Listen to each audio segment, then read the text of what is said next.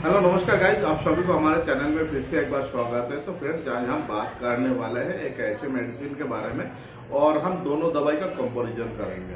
तो फ्रेंड्स आज हम बात करने वाले हैं बिगोरा और पेनिग्रा 100 टैबलेट के कंपैरिजन करेंगे। तो फ्रेंड्स इसके पहले अगर आप हमारे चैनल में नए आए हो तो प्लीज़ हमारे चैनल को सब्सक्राइब कीजिए और पास में जो बेल बटन है, वो दबाइए, जिसमें हमारे हर वीडियो आपको पहले मिल जाया करेंगे।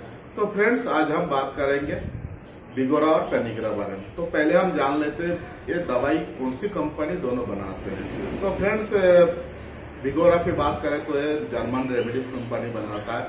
और पेनिग्रा की बात करें तो ये जाना माना कंपनी, जैडूस, कैडिला, एडिडो कंपनी, इसका मैन्युफैक्चरिंग करता है। तो फ्रेंड्स दोनों का दोनों कॉम्पोजिशन एक ही है सिल्वेनाफिल हंड्रेड एम कंटेंट में आता है। तो फ्रेंड्स हम बात करेंगे ये वर्क क्या करता है, हमारे शरीर में क्या काम करता है? तो फ्रेंड दोनों का दोनों सेम वर्क करता है। मतलब हमारे शरीर में टेस्टोरेंट की मात्रा बढ़ाता है और लिंग में रक्त संचरण बढ़ा के हमारे सेक्स बढ़ाने में मदद करता है। और ये दोनों का दोनों सेम रिज़ल्ट है और सेम काम करता है। लेकिन इसमें फ्रेंड्स एक कंपनी का दवाई और दूसरी कंपनी से थोड़ा बेहतर हमको रिज़ल्ट मिला है देखने में। तो फ्रेंड्स हम बात करेंगे। इसका रेट क्या है? तो फ्रेंड्स इसका रेट है एक सौ चार, एक सौ रुपये से ज़्यादा ही है। चार टैबलेट की कीमत, दोनों का रेट एक सौ चार रुपये से ज़्यादा ही है। तो फ्रेंड्स अगर हम बात करें इसका, अगर आप बोले हो जो इसमें जैसे बिगोरा टैबलेट जैनरिक ब्रांड की दवाई है। अगर आप मेडिकल में जाके बार्गेनिंग करोगे तो आपको चालीस से पचास परसेंट तक डिस्काउंट मिल सकता है। तो फ्रेंड्स अगर हम पेनिग्रा की बात करें, इसका रेट के बारे में तो फ्रेंड्स इसमें भी आपको अच्छा खासा डिस्काउंट मिल सकता है, क्योंकि पेमेंट वालों को ये अच्छे स्कीम में दवाई मिलती है। तो फ्रेंड्स अगर आप बार्गेनिंग करोगे तो इसका भी आपको मिल जाएँगे आपको काफ़ी डिस्काउंट तो फ्रेंड एक किस पेशेंट को नहीं देना चाहिए दवाई को? कौन किसी पेशेंट को नहीं खाना चाहिए?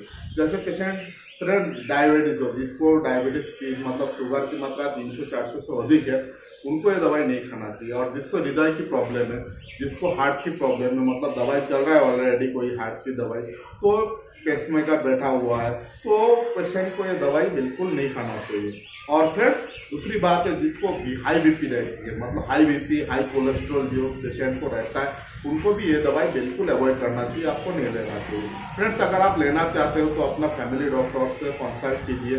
कोई अच्छा डॉक्टर को बताइए, बता के आप इसको ले सकते हो। तो फ्रेंड्स इसके अगर हम बात करें साइड इफ़ेक्ट के बारे में तो फ्रेंड्स इसमें नॉर्मल से साइड इफ़ेक्ट होता ही है। जैसे शीर भारी पर पूरा शहर ऐसे ऐसा लगता है दवाई खाने के बाद हटा जाता है। तो पूरा शरीर में पेन सा होता है, पूरा शरीर में भारीपन सा आता है। तो फ्रेंड्स ये प्रॉब्लम तो वैसे चौबीस घंटे में अपना आप ही सॉल्व हो जाता है। लेकिन अगर आपको ठीक नहीं होता है तो पैरासिटामोल टाइप का कोई भी पाँच सौ की टेबलेट आप इसको ले सकते हो। तो फ्रेंड्स उसके बाद भी अगर आपको प्रॉब्लम सॉल्व नहीं होता है तो अपना कोई भी फैमिली डॉक्टर को बता के आप कोई दवाई ले सकते हो। तो फ्रेंड्स हम बात करेंगे इसमें कौन सी बेहतर है फ्रेंड्स ये दोनों में से कौन सा बेहतर है? अगर मेरे ओपिनियन मानो तो फ्रेंड्स हम बात करेंगे पेनीग्राम पेनिग्रा मुझे इससे बेहतर लगा मतलब बिगोरा टैबलेट से पेनिग्रा टैबलेट बेहतर लगा। इसका मतलब इसका वर्क इसका आ, मतलब काम अपने शरीर में इसका रिज़ल्ट बहुत बेहतरीन मिला है। बिगोरा से मिला है मुझे। क्योंकि मैं खुद इसको यूज़ किया हूँ इसलिए मुझे मालूम है। क्योंकि फ्रेंड्स आप जानते हो एक मतलब बिगोरा जेनरिक ब्रांड है और पेनिग्रा एथिकल ब्रांड है।